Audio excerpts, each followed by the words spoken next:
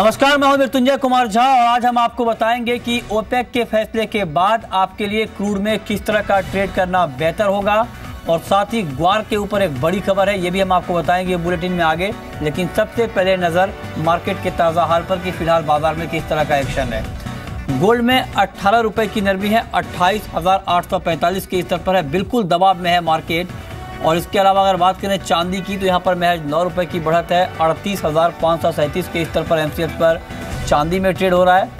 और साथ ही बात करें अगर कच्चे तेल की तो दबाव में है मार्केट तैंतीस सौ तेरह के स्तर पर मार्केट यहाँ पर ट्रेड करता हुआ दिख रहा है। नेचुरल गैस में बिल्कुल फ्लैट कारोबार 163 के आसपास एमसीएक्स पर नेचुरल गैस में ट्रेड हो रहा है। मेटल काउंटर को देखें तो मेटल का भाव आज कॉपर में करीब आधा परसेंट की मजबूती है। 310 के ऊपर है एमसीएक्स पर कॉपर और निकिल में करीब डेढ़ रुपए की बढ़त यहाँ पर देखने को मिल रही है। 571 के ऊपर एम पर निकिल में ट्रेड हो रहा है। जिंक में करीब 25 पैसे की कमज़ोरी है। एक सौ बत्तीस पचहत्तर का स्तर है लेड का भाव 50 पैसे ऊपर ट्रेड कर रहा है। शुरुआती दौर में ग्वार का मार्केट आठ रुपये ऊपर है। तीन हज़ार इकहत्तर के स्तर पर ग्वारगम में तीस रुपये की बढ़त है।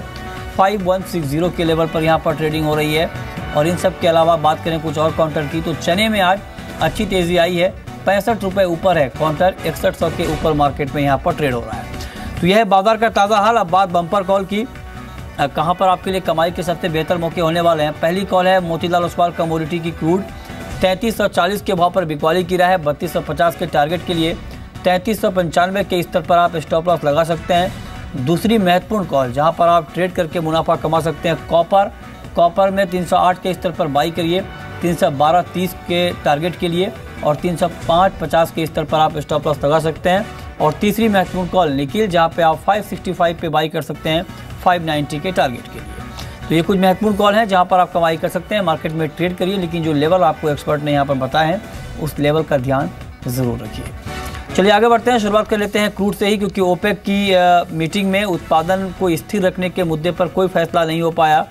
और ये एक्सपेक्टेड था, बाज़ार में इस बात की संभावना पहले बन गई थी कि उत्पादन की सीमा तय करने पर जो मेंबर्स हैं ओपेक के, उनके बीच सहमति नहीं बनेगी। सऊदी अरब और ईरान के बीच सबसे बड़ा मतभेद उभर कर सामने आया, क्योंकि सऊदी अरब ये चाहता था कि ईरान उत्पादन सीमा तय करने पर अपनी सहमति जताए, लेकिन ईरान ने इससे साफ़ इनकार कर दिया और ईरान चाहता है कि रोज़ाना उत्पादन 35 लाख बैरल से बढ़ाकर 70 लाख बैरल करने की ईरान की योजना है। और यही वजह है कि ईरान ने उत्पादन पर कैप लगाने को मंजूरी नहीं दी और उस पर सहमति अपनी नहीं जताई। हमारे साथ दो एक्सपर्ट हैं, हमारे साथ नवनीत दवानी है, मोतीलाल ओसवाल कमोडिटीज के हेड ऑफ़ रिसर्च और साथ ही हमारे साथ Priyank Upadhyay S S J commodity के। नवनीत, पहला सवाल आपसे ओपेक के फैसले के बाद क्रूड में अब क्या करना चाहिए? जी, हमने कल एक काफ़ी अच्छा नीजक रिएक्शन देखा था क्रूड में बट प्राइसेस काफ़ी लोअर एंड पे सस्टेन नहीं किए। जब तक ये 48 डॉलर्स कन्विंसिंगली नहीं तोड़ देते एक मंदी का पॉसिबिलिटी थोड़ा डाइसी लग रहा है but 49 and half fifty dollars भी अपसाइड पे एक स्ट्रॉन्ग कैप लग रहा है ओपेक का जो मीटिंग था एक non event kind of event हो गया हम्म। जो कि दो से तीन डॉलर का मूवमेंट एक्सपेक्टेड था बाज़ार में हालाँकि आधे आधे डॉलर का मूवमेंट देखा गया है तो हमारा हम्म। ये रहेगा कि आप सेल करके चल सकते हैं थ्री थ्री फोर फाइव के आसपास सेलिंग की स्ट्रेटेजी रहेगी three three eight five stop loss रहेगा टारगेट रहेगा three two nine zero on the downside okay Priyank Upadhyay आपका कमेंट क्या होगा हालाँकि फेड के फैसले को मार्केट ने पहले ही डिस्काउंट किया था, लेकिन क्या जो हालात यहाँ पर उभर कर सामने आ रहे हैं, जो संकेत मिल रहे हैं, क्योंकि ईरान जो है उत्पादन दोगुना करने की तैयारी में है, यानी ग्लोबल मार्केट में ग्लट के हालात बने रहेंगे। ऐसे में क्या आपको लगता है कि क्रूड में अगर जो भी बाउंस दिखता है, जो भी तेज़ी आती है, उस तेज़ी पर शॉर्ट करना चाहिए?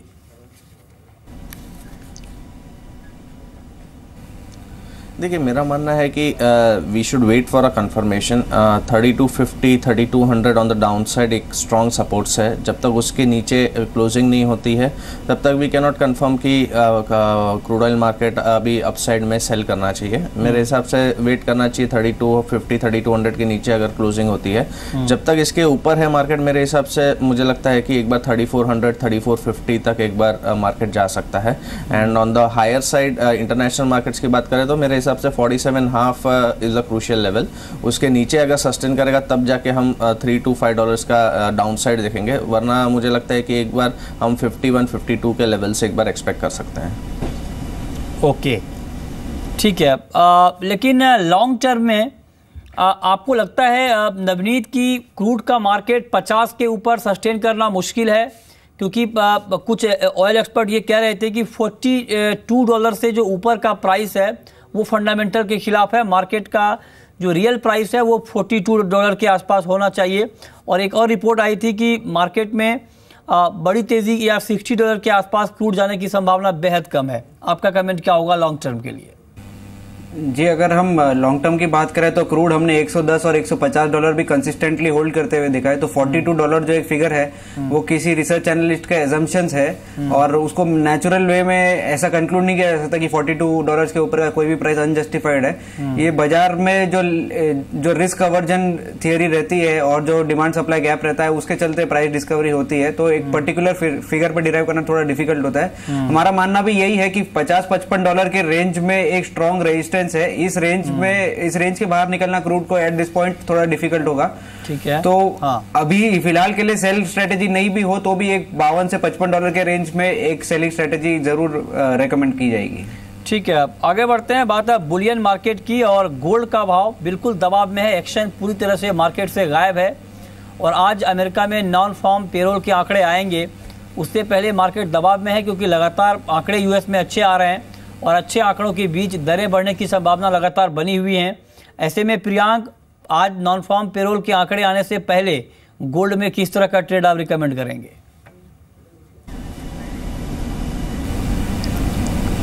देखिए मोर ऑफ़ जो नॉन फॉर्म पेरोल डेटा आएगा उससे एक डिसीज़न uh, आएगा मार्केट में बट नेवरथलेस मुझे लगता है कि डाउनसाइड प्रेशर बना हुआ है मार्केट्स में और वो कंटिन्यू हो सकता है। ऑन द हायर साइड 29,000 29,200 ये एक स्टिफ रेजिस्टेंस है। जब तक 29,300 के ऊपर प्राइसेस सस्टेन नहीं करते और क्लोज नहीं होता है तब तक डाउन ट्रेंड बना हुआ है।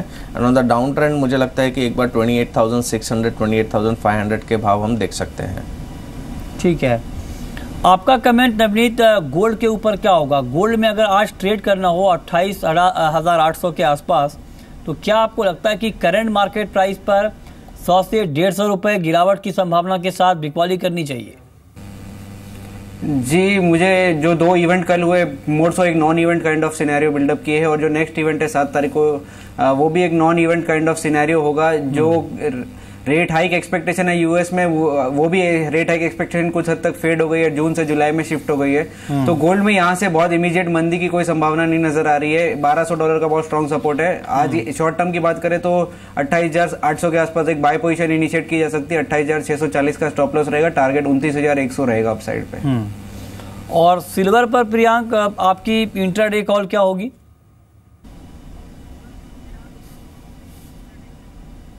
सिल्वर में भी मुझे लगता है कि थोड़ा बहुत रिकवरी बाउंस हम एक्सपेक्ट कर सकते हैं towards thirty nine thousand thirty nine thousand one hundred के आसपास तक। And on the downside thirty eight thousand is acting as a good support जब तक thirty eight thousand supports hold होते हैं तब तक एक पुल बैक दिख रहा हूँ मैं मार्केट्स में towards thirty nine thousand thirty nine two hundred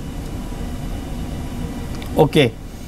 चांदी का बिहेवियर आपको नवनीत टेक्निकल चार्ट पे कैसा दिखता है? क्या गोल्ड के मुकाबले चांदी में आपको अपसाइड पोटेंशियल दिख रहा है ज़्यादा?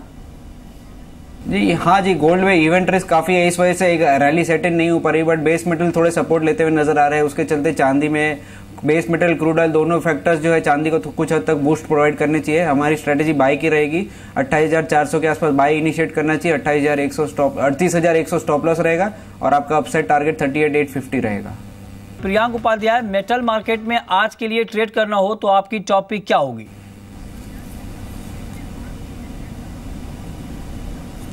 देखिए अमॉन्ग द बेस मेटल्स मुझे दिखता है कि लेड एक अच्छा काउंटर रहेगा जो आउट परफॉर्मेंस दिखा सकता है गोइंग फॉरवर्ड लेड में हमारी बाई की सलाह रहेगी 115 के आसपास 113.50 के नीचे एक स्टॉप लॉस रहेगा और 119 से लेकर 120 के शॉर्ट टर्म टारगेट्स रहेंगे.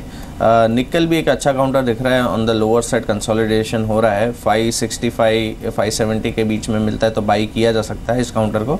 550 एक स्टॉप लॉस रहेगा एंड 590 के शॉर्ट टर्म टारगेट्स रहेंगे. ठीक है. नवनीत, आपके हिसाब से मेटल में अभी किस तरह की रणनीति बनानी चाहिए? क्योंकि फंडामेंटल तो मार्केट के कमज़ोर दिख रहे हैं, लेकिन टेक्निकल आधार पर अगर ट्रेड करना हो तो क्या सलाह होगी आपकी? जी फंडामेंटली एक्सेप्ट फॉर जिंक और एल्यूमिनियम बाकी सब में थोड़ी कमज़ोरी देखने मिल रही है बट प्राइसेस इतने लोअर लेवल पे कि यहाँ से थोड़ा ज़्यादा डाउनसाइड एक्सपेक्ट करना गलत होगा। हमारे अनुसार 308 309 के आसपास कॉपर में बाइक की सजेशन रहेगी 305 एंड हाफ़ का स्टॉप लॉस रहेगा। टारगेट अपसाइड में 312 313 के आसपास। नवनीत दमानी करेंसी मार्केट पर आपका व्यू क्या होगा? क्योंकि डॉलर में लगातार हमने स्ट्रेंथ देखी है और यूएस में आज नॉन फॉर्म पेरोल के आंकड़े हैं, इसके बाद डॉलर पर कुछ और इम्पैक्ट दिखेगा। ऐसे में रुपए की चाल आप क्या देख पा रहे हैं? हमने लास्ट कुछ दिनों में देखा है कि रूपी बहुत चौपी रहा है करीब 25 से 30 पैसे का मूवमेंट हम दो तीन दिनों से देख रहे हैं। इक्विटी मार्केट में थोड़ा स्ट्रेंथ देखने मिल रहा है उसके चलते रुपये में वापस कमज़ोरी देखने मिलनी चाहिए।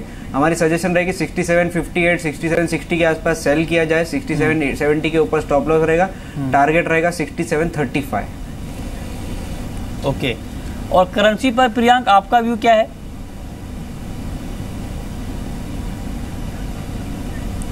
मोर और लेस मुझे लगता है कि sixty seven fifty sixty seven seventy on the higher side एक स्टिफ रेजिस्टेंस है मार्केट्स को। जब तक वो क्रॉस नहीं करता है तब तक एक बार हम सिक्सटी सेवन ट्वेंटी से लेकर सिक्सटी सेवन डॉलर्स तक हम स्पॉट रुपी को आता हुआ देख सकते हैं।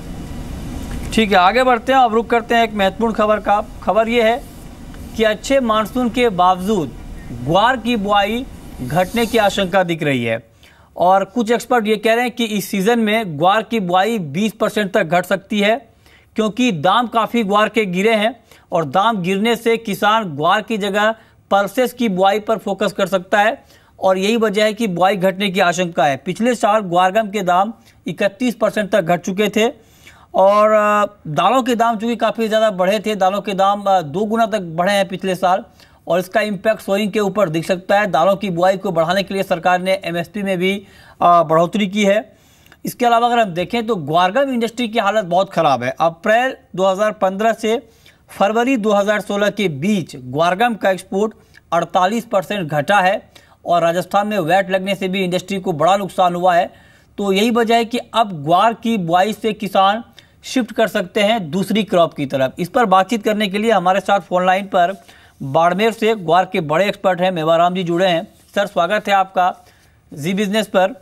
और साथ ही हमारे साथ मार्केट एक्सपर्ट अजय केडिया भी हैं। आपका भी बहुत बहुत स्वागत है। मेवाराम जी क्या लगता है आपको? क्या ट्रेंड अभी दिख रहा है? किसानों से जो बातचीत आपकी हो पा रही है क्या इस बार ग्वार की बुआई में कुछ कमी की आशंका आपको भी दिख रही है? एक ऐसा है कि ये नहरी इलाके के बेल्ट में थोड़ी बहुत बुआई कम हो सकती है। हम्म। और ये जो बिरानी एरिया है उसके अंदर तो अगर जुलाई में बरसात होती तो उसको ग्वार बोना ही पड़ेगा हम्म। हमारे पश्चिमी क्षेत्र में ग्वारी की बुआई में विशेष कोई फ़र्क पड़ने वाला नहीं है हम्म।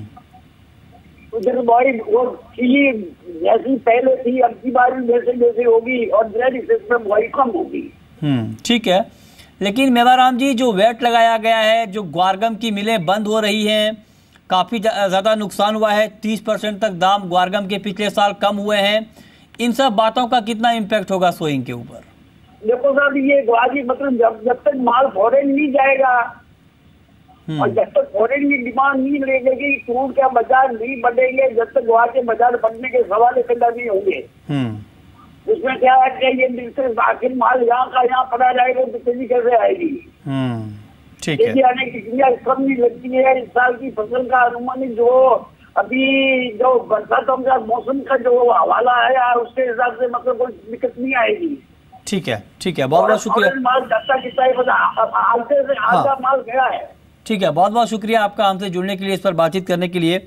अजय केडिया इस आशंका में आपको कितना दम दिख रहा है और ऐसे में प्राइस ट्रेंड ग्वार का क्या होने वाला है?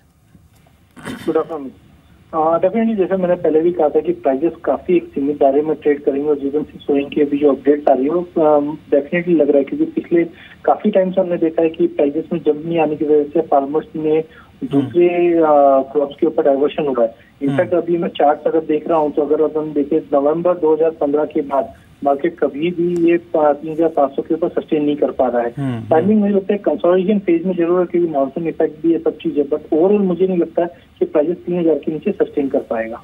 ठीक है नवनीत आपका व्यू ग्वार के ऊपर क्या होने वाला है? मानसून तो काफ़ी बेहतर रहने की संभावना इसका इम्पैक्ट कल ग्वार प्राइस के ऊपर दिखा था काफ़ी मानसून सेंसेटिव कमोडिटी है।